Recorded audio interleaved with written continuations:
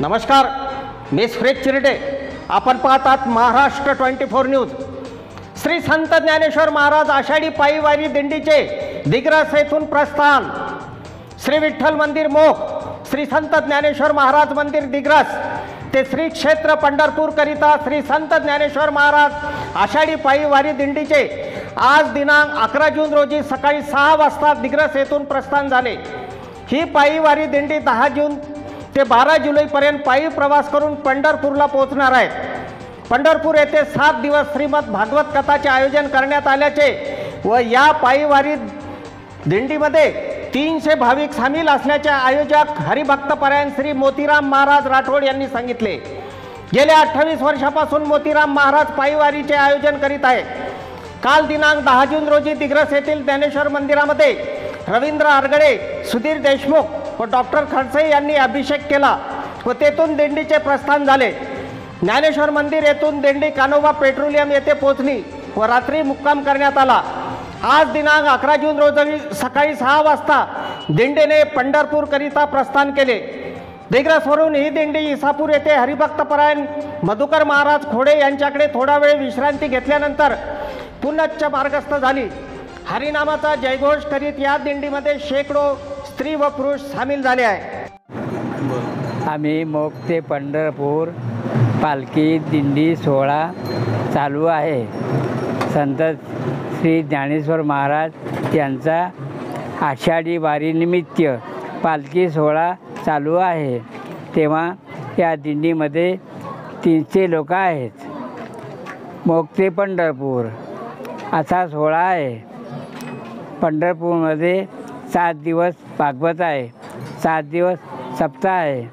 सात दिवस नामस्मरण आहे. असं कार्यक्रम चालू आहे. त्या निमित्त या दिग्रसमधून आ- आनंद सोहळा चालू आहे. किती वर्षापासून चालू आहे? अठ्ठावीस वर्षापासून. विदर्भाची परिस्थिती असो की दिग्रस बाबत हो. याबाबत तिथे पंढरपूर पोहोचल्यानंतर विठ्ठलांना काय साकडे घालणार? साकडे घालणार सुकाचे साकडे सुकाचे साकडे पाणी पाऊस पडू दे त्यांना पिकू दे. डिग्रीच्या लोकांना सर्व परिचयाच्या लोकांना सुखी ठेव असं असं प्रार्थना करत आहे.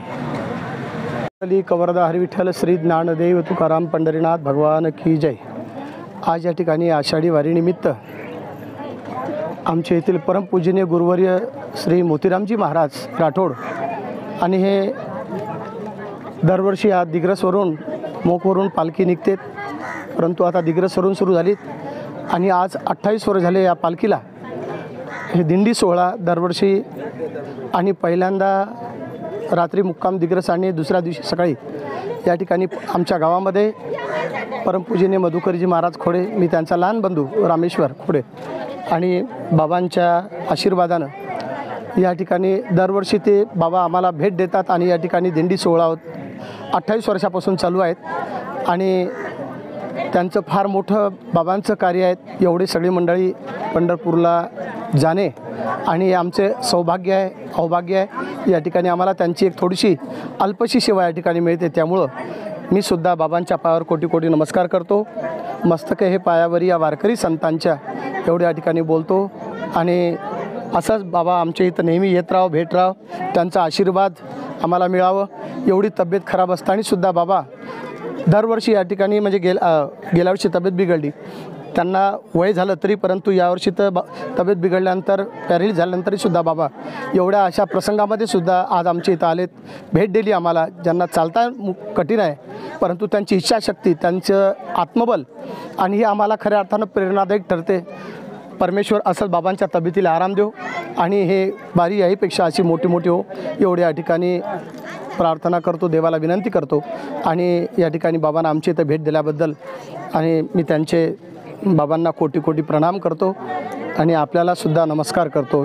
जय माऊली जय गुरुदेव रामकृष्ण हरी. गेल्या दोन वर्षापासून पायीवारी झालीच नाही.